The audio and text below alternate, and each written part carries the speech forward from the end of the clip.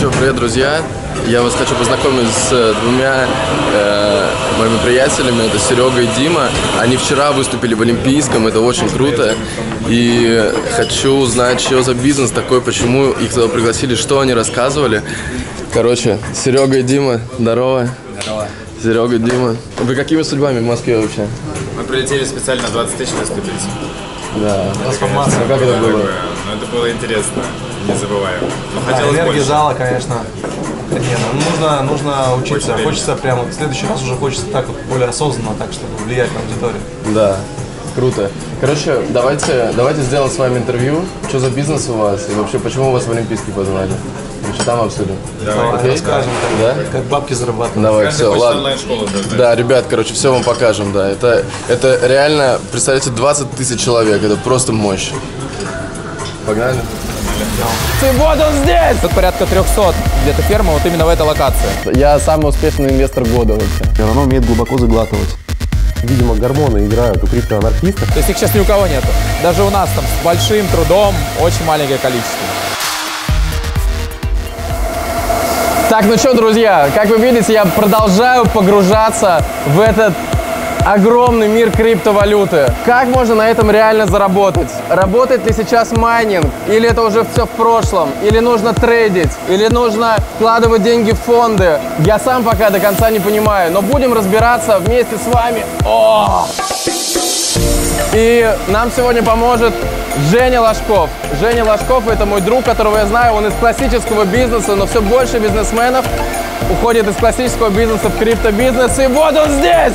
Женя, здорово. Здорово. Рассказывай, где мы, что это такое, что это, почему тут так шумно?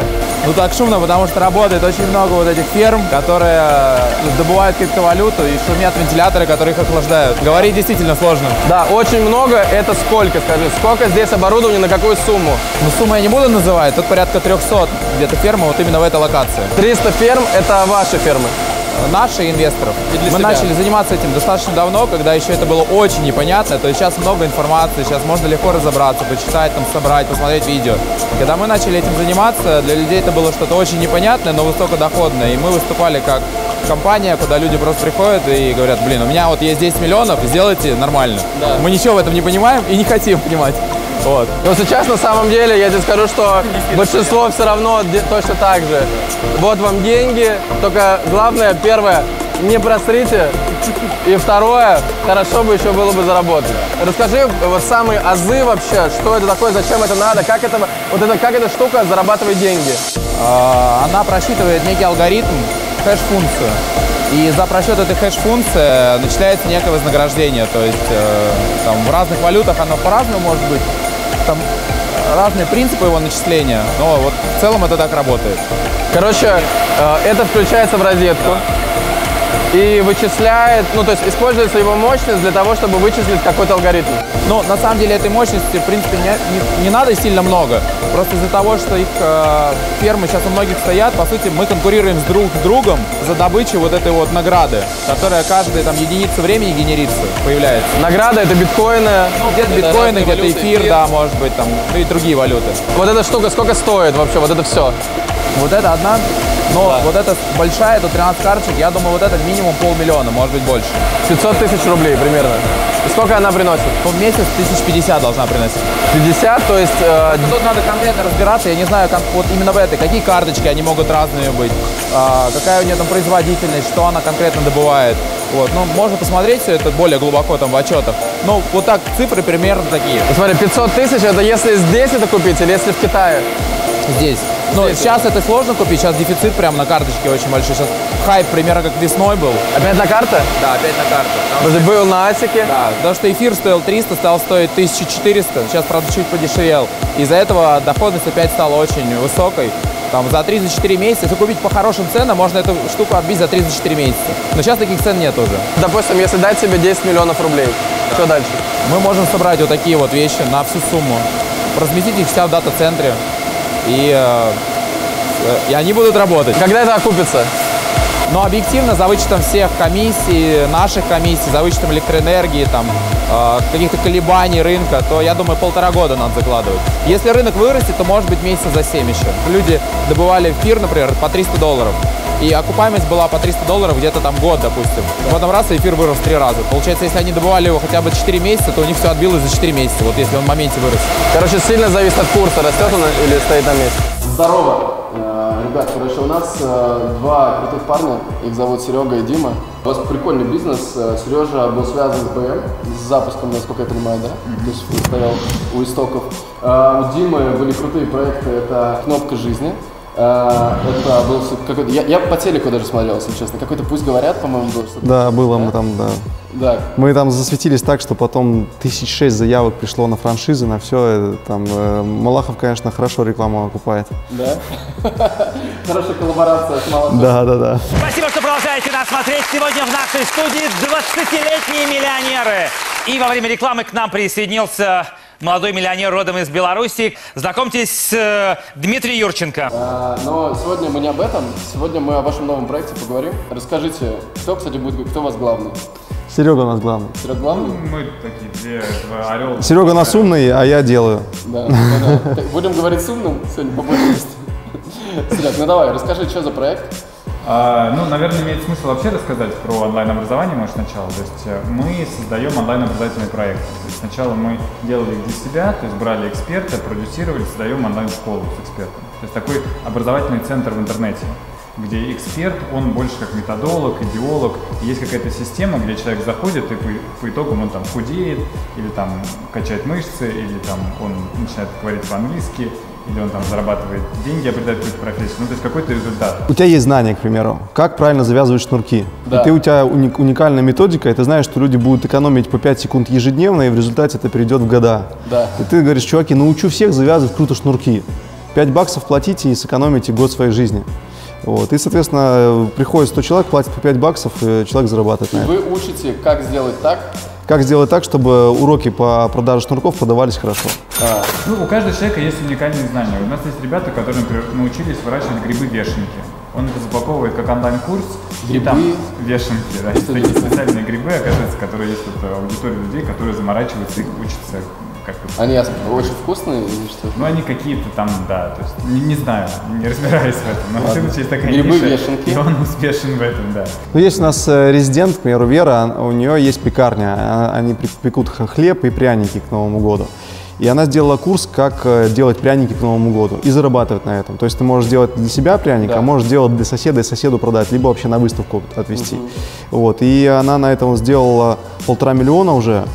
Сейчас Полтора ляма на в курсе по, по как тому, как делать пряники. как делать пряники. Да, вот. Типа она умела раньше делать пряники сама для себя. Да, И сейчас умею. И теперь, и теперь, да, умел, и умеет и сейчас, и теперь учит других, как делать пряники. да. Ну что, друзья, мы продолжаем изучать криптовалютный рынок. Пока у меня только негативный опыт инвестиций в крипту, я попросил своего помощника, чтобы он закинул 2 миллиона рублей в инвестиционный фонд Кернит.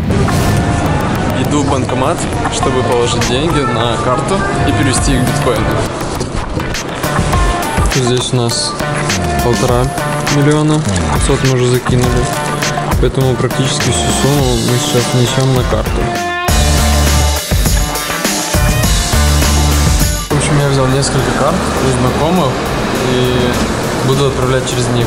Потому что с одной карты лимиты, возможно, будут превышены. Короче, все. Денежки мы на карточки закинули. Теперь идем садиться поудобнее и заходить на сайт обменника. Будем менять рубли на биткоины. Это фонд Жени Ларионова. Женя мой друг, я его знаю давно, ему доверяю. Я ему отдал 2 миллиона рублей. Что же теперь? Прошел месяц. И теперь у меня 1 миллион 200 тысяч. Я потерял 800 тысяч рублей. Это очень хреновая новость. В общем, я очень надеюсь услышать вразумительные ответы. Где деньги? Что будет дальше? Может быть, уже пора забирать, может быть, там все рухнуло. Но надеюсь, что нет. Надеюсь, что за этим есть какое-то будущее. Короче, я вас познакомлю с Эдиком, это управляющий фонда. Эд, здорово, где мои деньги? Где деньги? Присаживайся, ладно. Присаживайся. Ну давай попробуем. Серег, смотри, какая ситуация. Изначально, когда ты вложил, у нас сумма уже за вычетом всех комиссий, за вычетом всего составила 30 438 долларов. На сегодня прирост твоего портфеля, не прирост, Прирост. динамика твоего портфеля, да, минус 38%. Hello, darkness, my old friend. I've come to talk with you again. Потерял 1 миллион рублей. меньше, чем за месяц. Я самый успешный инвестор года вообще. Вот, ну давай рассказывай. Смотри, вошел дальше. 6 февраля. А, Мы открываем, я тебе сейчас покажу несколько графиков. То есть к тому, то есть мы помним, что мы инвестируем в портфель. У нас есть два основных портфеля, это голубые фишки и Rabbit Creek. Сейчас давай э, поясним, что такое Rabbit Creek и голубые фишки. Rabbit Creek – это два портфеля. Голубые фишки – более консервативный портфель.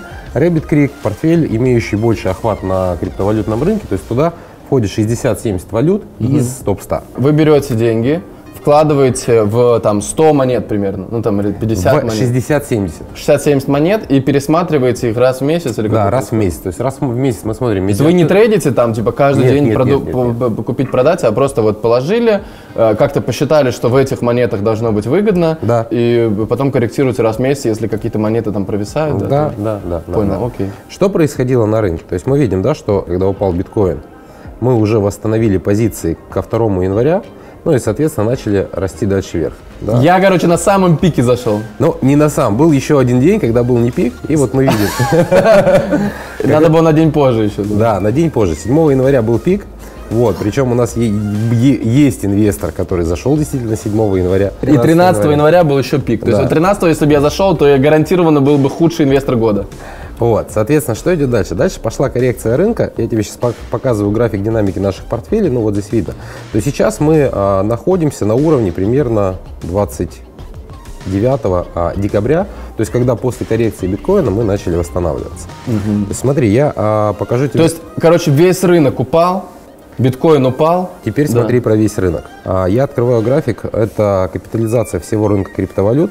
Когда ты инвестируешь в широкие портфели, лучше смотреть не на стоимость конкретной криптовалюты, вот, особенно если это 60-70 валют, лучше смотреть на динамику капитализации рынка. Вот смотри, вот мы видим, сейчас я сделал чуть побольше, это последний год, ты вошел 6 января, это был самый пик, вот 7 только было чуть больше, 7 капитализация достигала 827 миллиардов, 827 миллиардов это, это все вложения денег в криптовалюту в мире.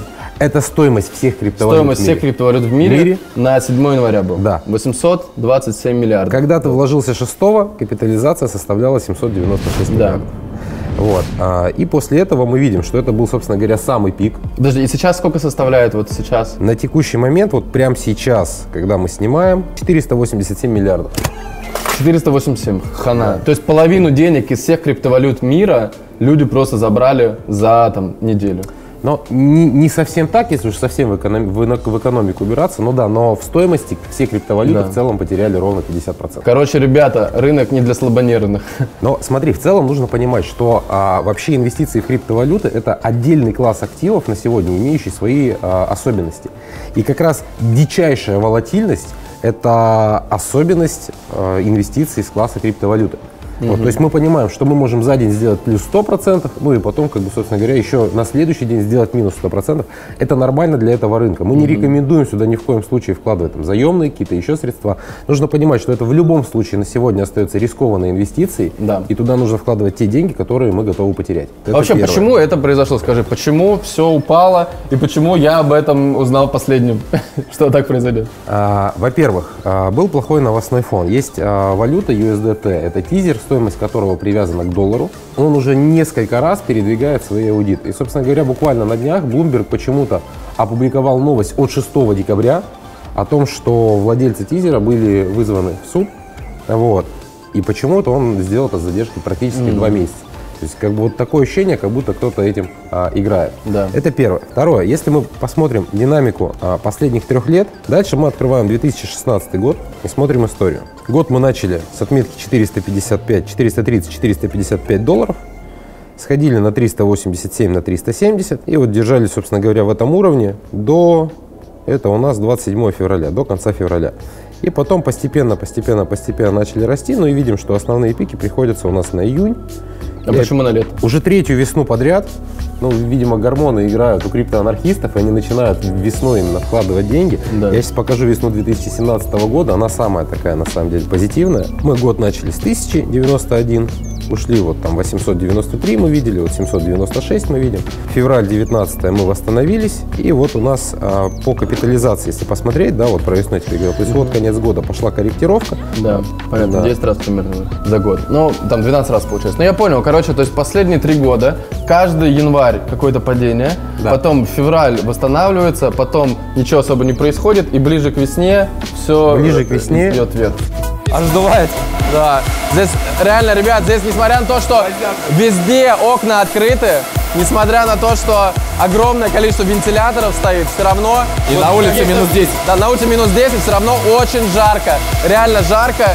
И э, я не представляю, что это будет происходить летом вообще. Летом тут вообще баня.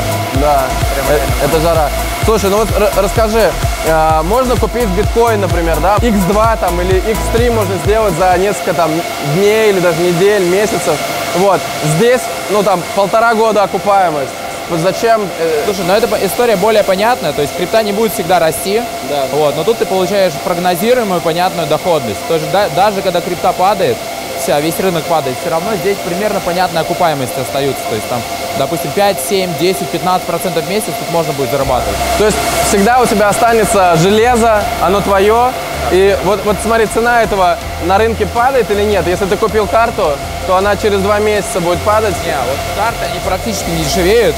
У нас вообще складывается ситуация, что даже те, то, что мы покупали полгода назад, если нам надо что-то продать, ну кто-то из клиентов, например, он хочет выйти а, по каким-то причинам, деньги понадобились, то он продает это в час даже в ноль, минимум ноль, а то и с наценкой. Потому что, то есть, вообще ситуация такая, что все это только подорожало. Слушай, а сколько вот эти, наверное, те, кто продает карты, там, Nvidia, да, сколько у них акции, там, наверное, пипец выросли, что там У них происходит? нет карт сейчас. То есть их сейчас ни у кого нету.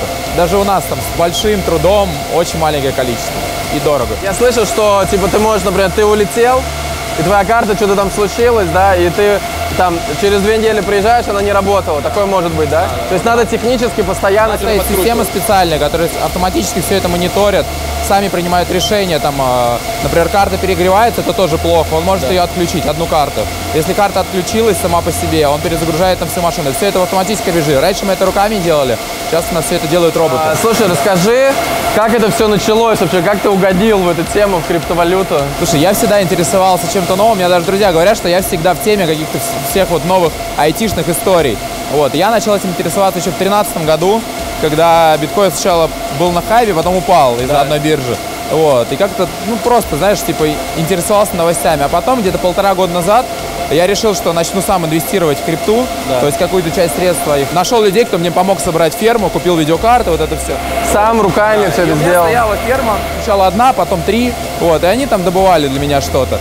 Вот, и как бы мои друзья, кто знал, что я этим занимаюсь, когда начался хайп, начали обращаться уже, типа, Женя, можешь нам помочь, там, сделать там еще что-то. Вот, из этого начал получаться бизнес. Вот, и в какой-то момент мы стали, у меня партнер появился, вот, и мы стали такой, как фонд э, выступать, который привлекает средства. С вами не надо вообще заморачиваться, да, то есть не надо, э, человек не сам покупает, да, там себе ставит и разбирается, он просто вам доверяет деньги, Э, вы на это закупаете оборудование, привозите сюда, все подключаете, и как вы дальше что, даете какой-то кабинет? Мы даем им доступ к пулу, где полностью видно весь мониторинг, все отчеты, сколько чего заработано, кошельки. Вы арендуете помещение, да, как это происходит?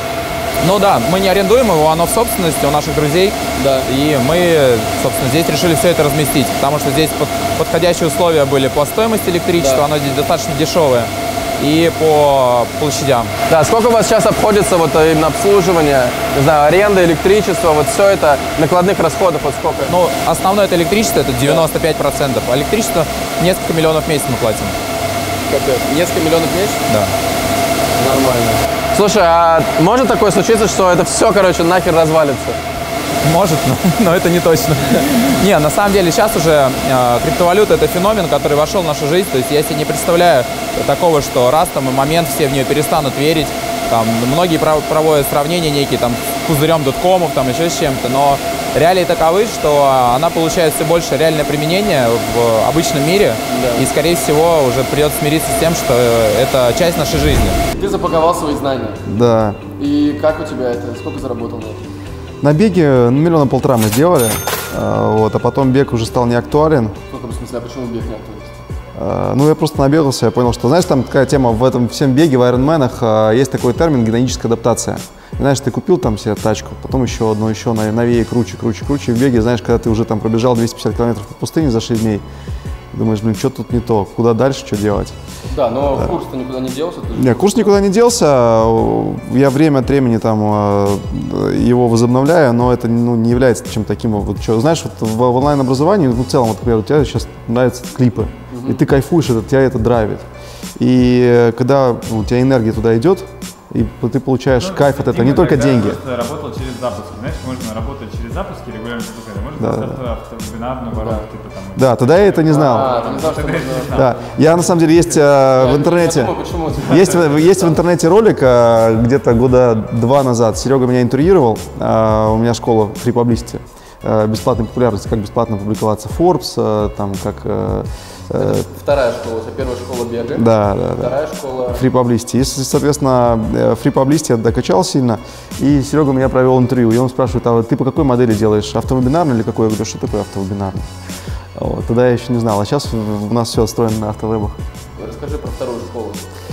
А, Я в «Кнопке жизни», у меня совершенно случайно по- по- получилось попасть в ротацию во все телеканалы, во все СМИ, Forbes, Коммерсант, там, Секрет фирмы, Ведомости. Бесплатно. Все нас, да, все нас писали. И а, я понял законы жанра, как это все работает. И когда мы делали вот школу бега, школу отношений с женой, ну, мы даже не знали, что вообще есть там такое слово, как онлайн там, образование, еще что-то. Мы просто вот, ну, что-то мы думали, что мы вообще инноваторы в этом. Мы захотели, чтобы наши выпускники писали о нас. Ну, не только мы о себе рассказывали, а чтобы они, вот, ну, благодарные выпускники, начинали писать. И мы решили взять э, 10 э, человек, отобрать э, на бесплатный курс, как э, сделать так, ну, как, как опубликоваться в топовых СМИ. И мы сделали, и это прям так людям понравилось. Э, Они начали просить еще, рекомендовать друзьям, и следующий мы сделали уже платный. А Взяли... это бесплатно? Не, это платно сейчас уже. Сейчас это стоит там от э, тысяч, наверное, 10 до 250, в зависимости от пакета. Но если тебя там, типа, ведут тебя за ручку, вот. э, Там сейчас появился курс по книге, курс по тому, как там видеоконтент создавать. То есть, как написать книгу? как написать книгу. Вот как раз первое, вот сегодня стартовал курс, как написать книгу. А ты стал книгу? Мы сейчас как раз в, в курсе пишем книгу. Вот у меня я, да, у меня жена, у меня у, жен- у жены книжка а, "Правила прибыльных стартапов", она как раз про мой э, бизнес кнопка жизни написала. Э, в Ман Иванов Фербер издала. Сейчас написала книжку «Как стать популярным автором». Его жена лицо вот этой школы. Она там Я продюсер, такой, продюсирую жену. Да, это самая такая легкая, простая модель. Там Жена была каким-то скиллом интересным, ее запаковала. Да. Так, ребята, если у вас жена обладает каким-то скиллом, если вы, соответственно, муж, э, то что делать? А, ну, жена, соответственно, должна уметь хорошо говорить. А, ну, самое лучшее это просто понять, как ее запаковать. Вот, ну, к- вот ее скилл, к примеру, она умеет глубоко заглатывать. Это тоже есть такие курсы. Как сделать так, чтобы муж был счастлив?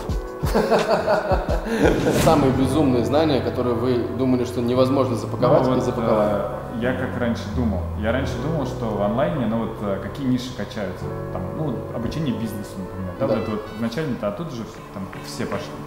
А, окей, там, ну, как бы, стали появляться какие-то игроки. Потом обучение английскому. И вообще, сейчас до сих пор обучение английскому это самая популярная ниша. То есть больше всего люди обучаются именно английскому в интернете. Ну, то есть во всех странах это самые большие школы, в принципе. Вот в России Skyeng делает 800 миллионов рублей э, ежегодно Выручка. выручки. 800 миллионов рублей. Да, они сейчас оценены там 60 миллионов долларов. Короче, давайте что-нибудь разыграем. Что у вас там есть такого, что можно разыграть? Сам только может быть годовое обучение. Блин, давайте это будет очень круто. Давайте годовое обучение. Одно. А, ну давай. Давай? Да. Супер, огонь. Короче, ребят, смотрите, а, чтобы выиграть годовое обучение, это офигенно, да? То есть годовое обучение, как стать... э, Как создать онлайн-школу. как создать онлайн-школу собственную. Да. Кайф. Ребят, смотрите, а, пишите комментарии. В комментарии напишите, почему именно вы Какую пользу должны... принести? Да, почему именно вы должны выиграть этот годовой абонемент на создание онлайн-школы, что вы можете отдать миру, какие Да. знания у вас есть. Напишите в комментариях, и мы выберем самую, самые крутые знания, самый крутой Да, опыт. да. Вот. Не только ваш, может быть, вашего знакомого или друга, может, у вас есть кто-то носитель каких-то гениальных идей. Да. Офигенно, это будет очень круто. Давайте, пишите в комментариях, мы выберем самого лучшего. И, конечно же, вы должны быть подписаны на канал. Давайте. Бам! Что делать сейчас, вот мне, с этими деньгами? С этими деньгами у тебя есть два варианта. Да. Вариант первый а, совершить так называемый panic sale Это когда все падает, ну и ты, собственно говоря, выходишь и фиксируешь убытки. Это Да. первый вариант. Второй инвестор, опытные инвесторы говорят, закупай тогда, Хэш- когда... Хэштег опытный. Опытные инвесторы говорят, закупай тогда, когда льется кровь. Собственно говоря, ты видишь, что сейчас льется кровь. Я напоминаю, что это а, рисковый класс Да. активов. Поэтому вкладывать туда все деньги я не рекомендую. Но если есть какая-то возможность сейчас докупиться, или если вот особенно а, тем, кто нас смотрит сейчас, твоим зрителям, твоим подписчикам, если вы ждали и не закупились 20 декабря, закупитесь, положите какую-то су- ту сумму, которую вы готовы в случае чего потерять.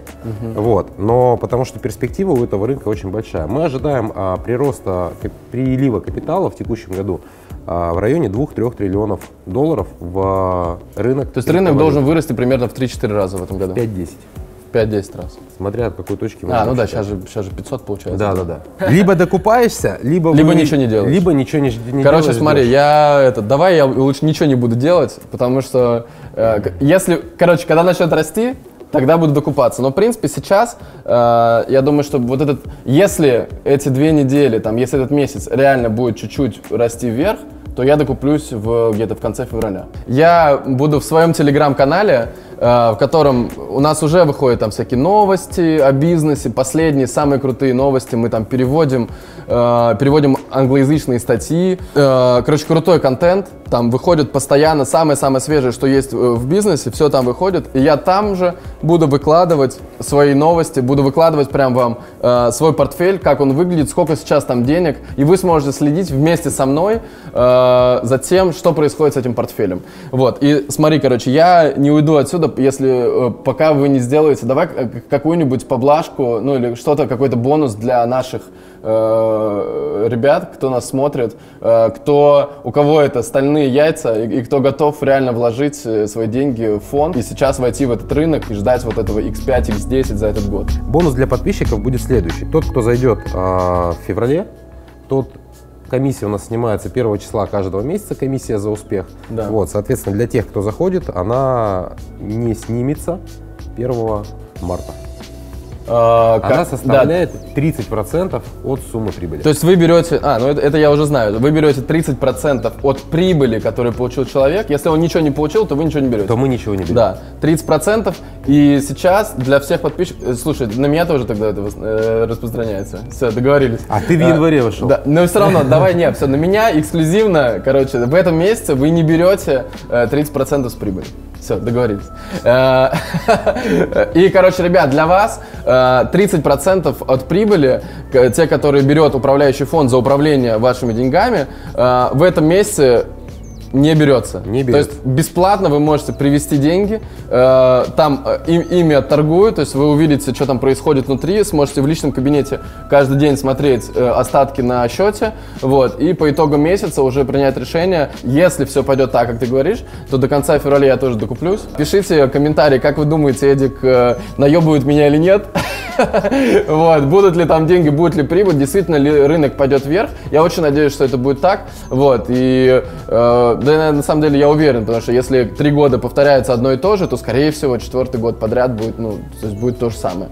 Вот, короче, следите. Э, я доверяю фонду, потому что там реально Женя Ларионов, которого я знаю давно, э, это реально чувак, который, ну, он бы не стал, ну, хайпить там на, на каких-то маленьких там деньгах. То есть лучше гораздо работать в долгу. Я, кстати, слышал еще, что вы э, сейчас научились э, от юрлиц принимать деньги. Но мы научились не сейчас, мы научились уже в конце декабря, уже даже в том году, в конце того года. То есть вообще была проблема раньше, что с юрлица невозможно отправить деньги в криптовалюту, это было незаконно. Возможно, но это было бы незаконно, Да. да. и, собственно говоря, за это бы наказали. Сейчас для крупных инвесторов, так как у нас мы работаем не только с розницей, но и с корпоративными клиентами, Да. Вот, мы нашли возможность инвестировать в криптовалюту абсолютно белое. Делается это через хедж-фонд, это делается с администратором, это делается с аудитором, это делается подконтрольно а, регулятору, соответственно, там, а, тому, где зарегистрирован Мгм. фонд. И можно без проблем завести деньги в фонд, От юрлица От отправить юрлица деньги на счет. отправить это деньги за- на счет. По куда-то ино- иностранный Куда-то, счет, да, это да, не Россия. да, это иностранный счет, это иностранный хедж-фонд. Можно завести деньги, там все будет инвестировано в криптовалюту. Администра- администратор отвечает за сохранность, собственно говоря, ваших средств, средств инвесторов. Администратор это кто? Администратор это контролирующий орган, который как раз выступает гарантом того, что фонд действительно управляет деньгами и делает все в рамках А кто соглашения. администратор, что за компания? Это компания Apex, это ирландский администратор. Большие они, сколько они там? У них в управлении сейчас 0,3-0,4 триллиона долларов. Вау. 300 миллиардов долларов. 300-400 миллиардов долларов, да. Да, прикольно. Вот, поэтому можно с юрлица перевести деньги, инвестировать, получить прибыль, вернуть ее обратно, заплатить с нее налоги, заплатил налоги, спишь спокойно. То есть тоже от юрли... на юрлицо на юрлицо, обратно, да, какие да, там да. налоги снимают? Честно, я не знаю еще какие налоги, потому что все пока что только заводят. Да. Вот, еще у нас выходов не было. Да, ну, при- ну примерно как. Ну, скорее всего, это доход с э, налог, Налог на на, прибыль. на доход с инвестиционной деятельности. Для компании это, наверное, зависит. 20%? Ну, в районе 20-25, Да. я думаю. Слушай, ну, короче, я надеюсь, что все будет окей, э, поэтому э, деньги я оставляю. В конце февраля захожу, если все пойдет так, как ты говоришь. Вот, и вам, ребят, э, советую разобраться в этой теме. Кстати, от скольки денег От м- скольки? можно класть? А, вообще у нас было от 5000, вот, сейчас мы маленько снизим, Мгм. вот, от 0,1 битка. То есть, ну, сейчас это примерно 1000, 1000, полторы тысячи в один портфель. Тысяча, полторы тысячи долларов, это, то есть можно минимальный 100 вход. тысяч рублей, в принципе, закинуть. Ну, да-да-да. Ребят, оставлю вам ссылку на сайт, зайдите, все почитайте там. Э, там понятно, ну то есть ты заходишь на сайт, оставил заявку, да, или как? Или Нет, сразу? не оставляешь заявку, сразу же регистрирую- регистрируешься, вводишь свои данные, проходишь идентификации, пополняешь счет биткоинами и уже со счета своего внутри личного кабинета ты можешь проинвестировать в любой портфель или вывести средства. Да, а завести на счет биткоина это, это Завести на счет биткоина. как и вот если у человека наличные на карте? А, варианта два. Вариант первый это обменники, вот, соответственно, local bitcoins best change. Вот. Вариант второй, если это сумма от 20 тысяч долларов, вот, то напишите Тебе. не мне, ну, можно мне. Давай тебе. Ну, Давай, короче, мне, смотри, да- давай так, на все вопросы э, ты давай сам ответишь для наших подписчиков. Э, короче, личный сервис. Оставлю ссылку на твой инстаграм, на твой телеграм. И оставлю ссылку на сайт, куда можно зайти и там все почитать, что там, что вы делаете. Да, вот. да. Обязательно разберитесь в теме. э, Вы должны понимать, куда вы вкладываете деньги, что такое криптовалюта. Посмотрите еще ролики в интернете, посмотрите наши предыдущие видео, там более-менее мы объясняем. Вот, поэтому э, учитесь и э, учитесь в том числе инвестировать деньги. Это действительно важный навык. Вот. Ну ладно, короче, будем следить за развитием событий. Спасибо. Давай. Всё. Давай, пока. А, так, Жень, расскажи в итоге, вот прям для дураков, для чайников, а, как можно заработать на оборудовании вот в криптовалюте?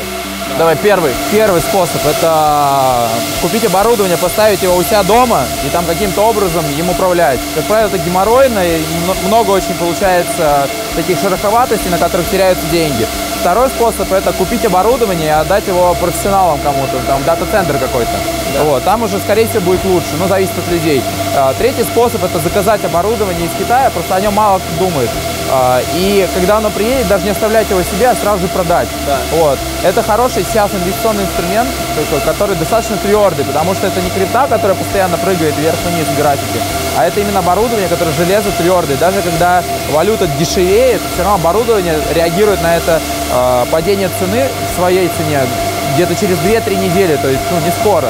Вот. То есть это гораздо более такой надежный, что ли, А сколько вот оборудования едет из Китая в Россию? Вот, там тоже есть два варианта. А, Мы, например, как поставляем? У нас первый вариант – это поставка через неделю. Это то, что мы покупаем. Но на самом деле вообще даже 3-4 дня занимает. Иногда даже 2 дня занимает.